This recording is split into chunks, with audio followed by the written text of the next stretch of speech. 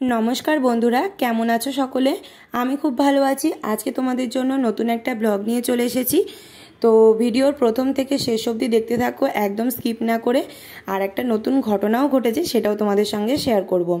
তো আজকে তো কেকটা ডেলিভারি দেওয়ার ছিল, আগের দিনের ব্লগেই তোমাদের দেখিয়েছিলাম যে কেকটা রেডি হয়ে গেছে, আর যতটুকু ডেকোরেশন আর কি বাকি ছিল সেগুলো করে নিলাম, কারণ ফন্ডেন্টের ডেকোরেশন তো আগে থেকে করে রাখা যায় না। ডেলিভারির মুহূর্ত কিছুক্ষণ আগেই কিন্তু আমি ডেকোরেশনটা করেছিলাম। তো কেকের ডিজাইনটা কেমন হয়েছে সেটা কিন্তু জানাতে একদমই ভুলো না, আর এটা কিন্তু আমাকেই ডেলিভারি দিতে যেতে হবে।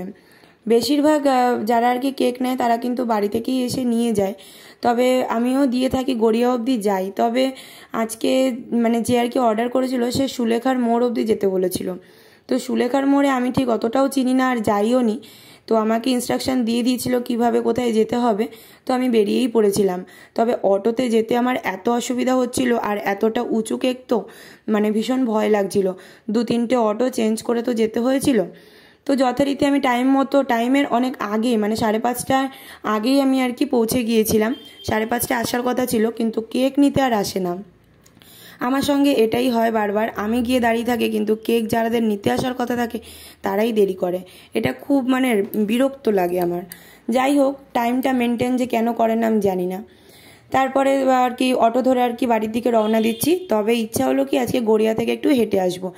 একই ডেলিভারি চার্জ দেয়নি যে কেক নিয়েছে, তারপরে অনেক দামাদামি করে কেকের দাম কমিয়েছে। তো আমি ভাবলাম এটার জন্য আর কি এক্সট্রা করে টাকা খরচা করব না। তো কি ঘটনা ঘটলো সেটা একটু শুনে দেখো। খুব জোর বাঁচিয়ে দিয়েছে।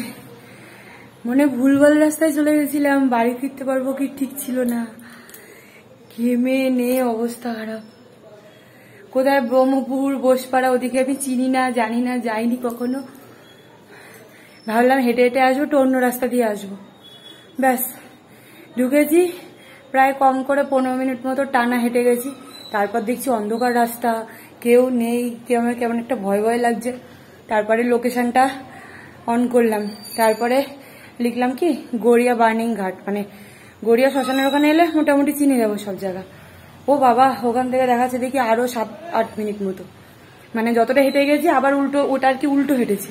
আবার ওই অতটা হেঁটে গেলাম তারপরে গড়িয়া বার্নিং ঘাট ওই শ্মশান থেকে, তারপর বাড়ির দিকে।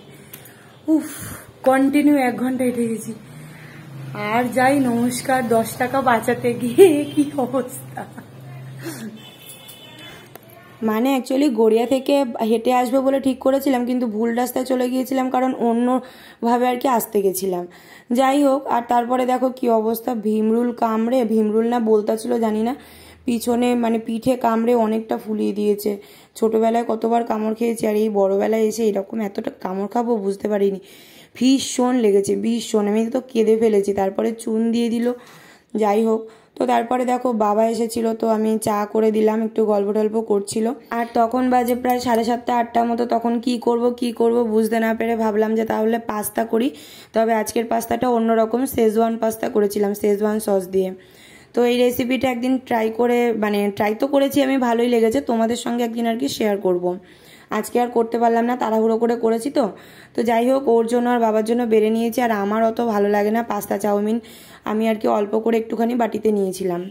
তারপরে বাবাকে দিলাম খেতে, আর তারপরে অনেক কিছু কথাবার্তা হচ্ছিল, কিছু কিছু জিনিসের ব্যাপারে। সেগুলো তোমাদেরকে পরেই সব জানাব আর কি। তো তারপরে বললাম যে রাত্রেবেলা খেয়ে যেতে, তো বলল না, আমার তারা আছে, চলে যাবে।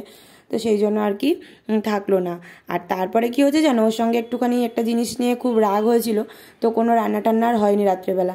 তো রাত দেড়টার সময় তারপরে খাবার অর্ডার করেছে আর মিক্সড ফ্রাইড রাইস আর একটা কী বেশ ছিল, ওটা পাঁপড়ের সঙ্গে না মধু দিয়ে কি একটা ডিশ করেছে, এটা আমি ঠিক জানতাম না। আমাকে লুকিয়ে আর কি খাবার অর্ডার করেছে, আমি নিজেও জানতাম না। তো যাই হোক, রাত দেড়টার সময় তারপরে সিনেমা দেখতে দেখতেই খাবারটা খেয়েছি। কি অবস্থা বলো? মানে রাগ টাগ করে দুজনেই শুয়ে পড়েছিলাম। তো খিদেতে তো পেটে ডন মারছে, তখন আর কি করা যাবে?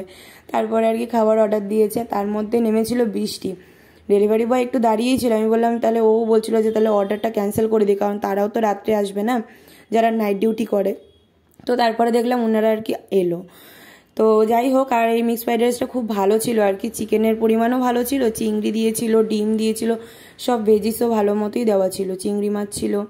তো যাই হোক, এই যে এই ডিশটার কথা বলছিলাম আর কি কি পাঁপড়ের মধ্যে তিল ছিল আর কি সব মধু মতো জিনিস দেওয়া ছিল, মিষ্টি মিষ্টি লাগছিল, খেতে বেশ ভালোই লাগছিল। তো যাই হোক, এটা দিয়ে আর কি রাত্রের ডিনারটা হলো। হলো বলতে অনেকটা দেরিতেই হলো মানে মাঝরাতে হলো আর কি। আর তারপরে সিনেমা দেখতে দেখতে একটু খেয়ে টেয়ে নিয়ে তারপরে ঘুম দিলাম। তো ভিডিওটা কেমন লাগল অবশ্যই জানিও, আর ভালো লেগে থাকলে প্লিজ একটি লাইক করে আর পেজটিকে ফলো করে রেখো। দেখা হচ্ছে আবার নতুন কোনো ব্লগের সঙ্গে। টাটা!